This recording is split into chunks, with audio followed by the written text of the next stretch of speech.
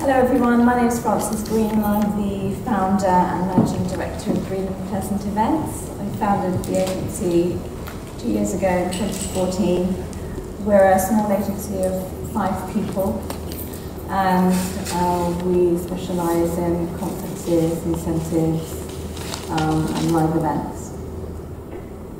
Uh, hello everyone, I'm Luke Fleck. I'm with Ashfield Meetings and Events, Head of Global Marketing.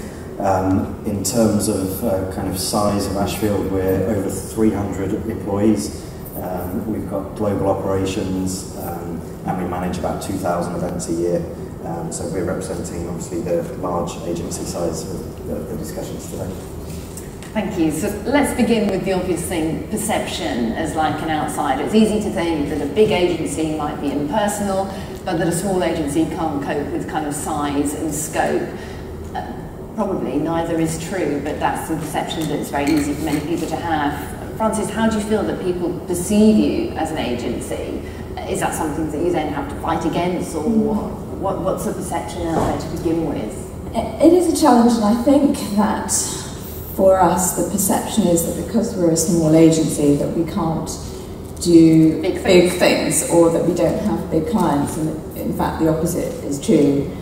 And um, it all depends really on, on client need. And we do work with some major brands, some global brands, and are more than well equipped to deal with the challenges uh, and, and able to deliver for those clients. So I think that that is a, a false perception.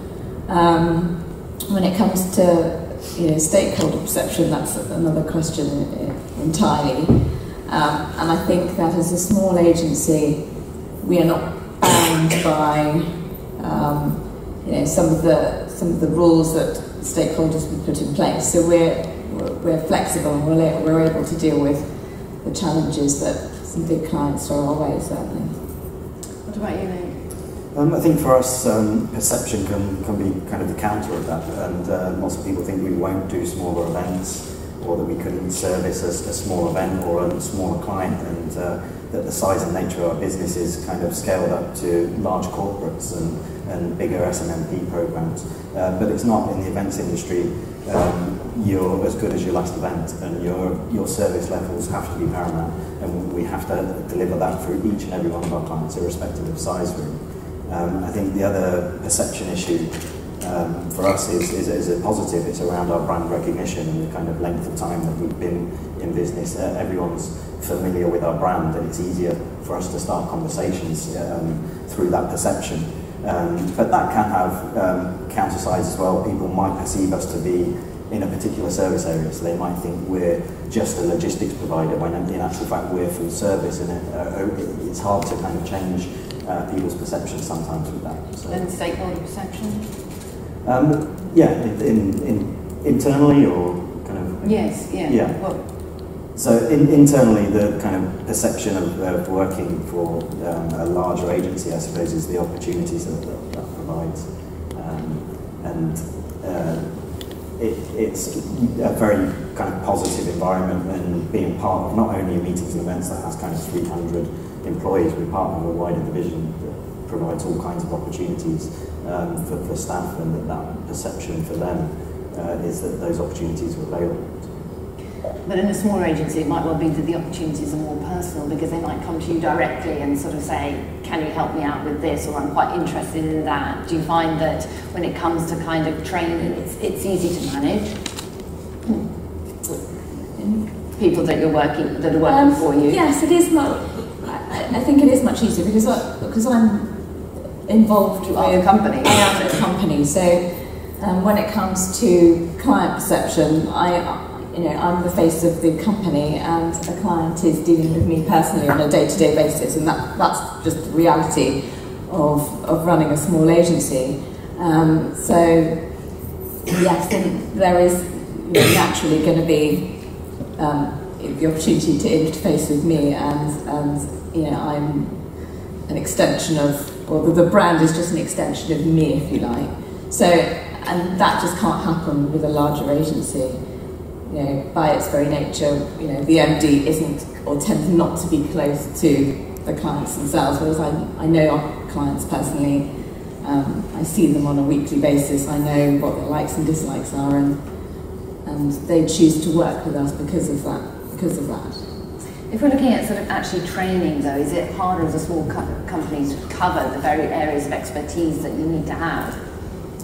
Well, in our company, each individual has to become not only an not only an expert at their own jobs, but they need to be able to adapt quickly depending on a, the different client's needs. Because we are a, we are only five people, so those five people, those five individuals, will learn um, very quickly uh, how different clients like to work because each person invariably will be involved across all of the projects. So you're looking for sort of a multi-skilled person. Um, so you'll, you'll, you'll recruit somebody who is an, an expert in their own area, but just by being part of a small agency, they will quickly have to diversify their skills depending on the client need. So we're constantly responding to the client need rather than um, an individual being siloed in their position and in their function. So we're always outwardly looking um, rather than taking work that um, plays to the individual's strengths, if that makes sense. Presumably you have the advantage of big training programs that you can kind of throw money at or sort of organise sort of structurally. Um, we do, and that's very important to the organisation in terms of the learning and development side of that and making sure that the individuals within the business see career progression and see those opportunities for them. Um, but I think the same principles apply really. Um, because our business is structured in terms of smaller business units within the larger infrastructure.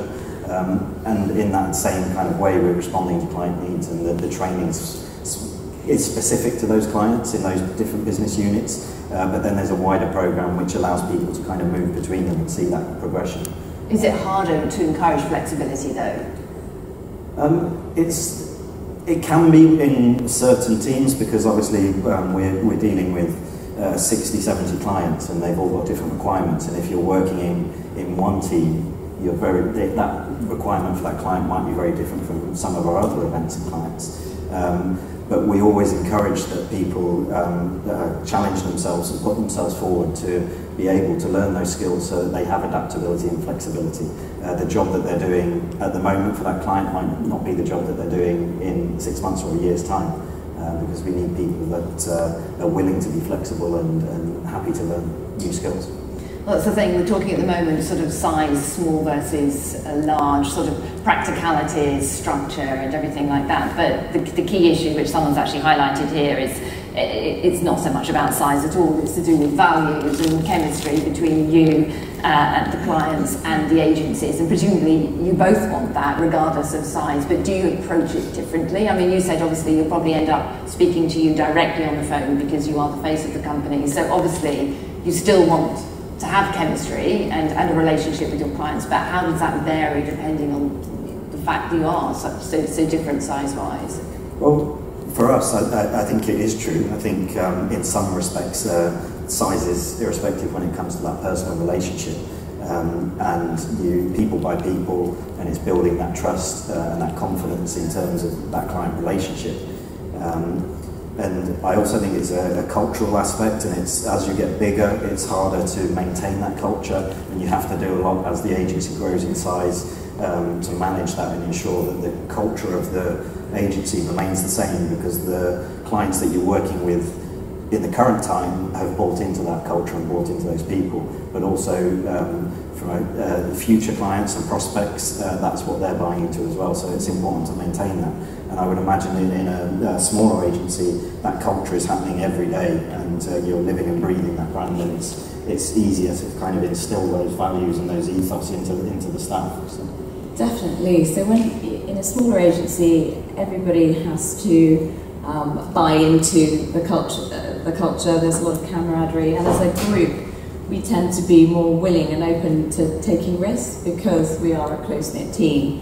And I think as a bigger agency, often you've got more to lose because you've got a reputation that's much bigger um, than the individuals, and you've got more to more to lose as a as a, as a company. So you may find yourselves less open to risk take, to taking because um, you know, you have um, a legacy to uphold and you have a set of deliver- deliverables that you know are achievable. So you may tend to stick to what you know more. Whereas when you're in a smaller knit team, you may be open to taking risks because you know when you've been around for just two years, you're you're you're maybe doing things for the first time as a group of individuals, and that's perceived as normal. And those risks are how you take those next steps and get. Yeah, get that's how you grow. grow and learn together as a. And I, and I think um, in a PLC environment, uh, a lot of PLCs are kind of adverse to risk. Um, but in our business, we've uh, we started a kind of sister brand, uh, which is called Spark Thinking, which allows us to be a bit more challenging, be a bit risky in terms of how we're proposing solutions to clients, but still have the infrastructure of Ashfield behind us. So it's kind of the, the best of both worlds. We can have an agile team that, that are going out there and being disruptive in how we're talking about uh, uh, the brand proposition, but also um, in how we're challenging clients on what the future holds for them, what changes around the corner, and how we can deliver against that. And, and people, they, they may not have bought into Ashfield for that, but if we can offer them as complementary services, um, we, we can align it and we can add real value by combining the two together. I was going to say, because that's, that's, that's a, a suggestion that you may alienate some clients that you have if you were to be, be, bring your kind of spark thinking within your brand. So you're purposely running it sort of parallel, but but letting the two feed off each other. Yes, it is very complementary, um, but also in terms of the service offers, um, clients have bought into different services. We might have some that just use us for logistics, some that just use us for venue finding, some that use us for full service. Uh, and it's the same respect there as well. Um, and we have to kind of manage that, and we do it in those business units that we talked about. So those those smaller pockets that, that are kind of running their own P&Ls and, and like their own small agencies really within the larger infrastructure that has the central resource, has the support, has the kind of connected excellence across the business.